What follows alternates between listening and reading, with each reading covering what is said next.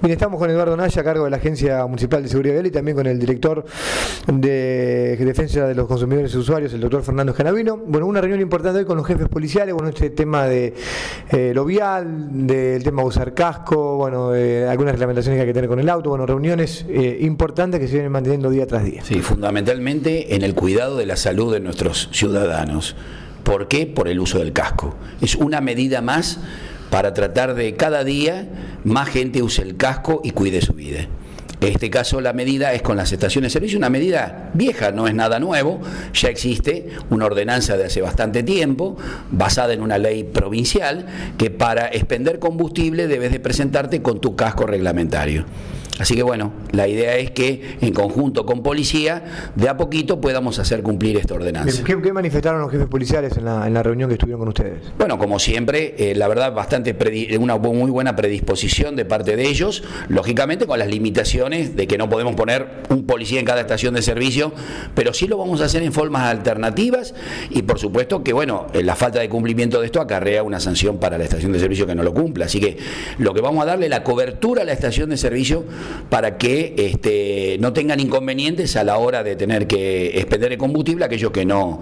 que no cumplan, no se les este, proveerá de combustible, lógicamente. Doctor, bueno, como siempre, mucho trabajo aquí en la oficina con respecto a esta temática, ¿no? Sí, como bien decía Eduardo, esto es, tiene que ver con una visión que, que, tiene la gestión, que pasa por el respeto a la vida y por la autovaloración que cada uno hace su vida, es decir, el Estado no va a estar permanentemente eh, vigilando quién usa casco o no, porque la, el primero que tiene que vigilar es el individuo para cuidar su salud y la de los que llevan en una moto, eh, pero sí el Estado no puede renunciar y a, a dar cumplimiento justamente a las ordenanzas que así lo prevén y en este caso se va a reflotar una, una ordenanza que está totalmente vigente, que tiene que ver con el tema del uso de casco eh, eh, por parte de las estaciones de servicio, las cuales tienen que obviamente ajustarse a la ley y en ese sentido la, la fuerza, como bien decía también Eduardo, las fuerzas policiales van a colaborar con las áreas de, gobierno eh, y también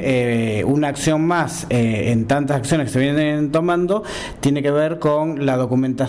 que tienen que dar las eh, empresas, las concesionarias, sean en forma principal que vendan moto, en forma secundaria, como pasa con la casa de artículos del hogar, la totalidad de la documentación. No puede salir una moto en la ciudad de Junín ni en ninguna parte del país, pero estamos haciendo hincapié obviamente en la ciudad eh, que estamos, sin la documentación que corresponda. Por eso hay una folletería que ya comienza a circular en, lo, en las en estos lugares, ¿no? Exacto, y esa folletería es de exhibición obligatoria, la no exhibición acarrea multa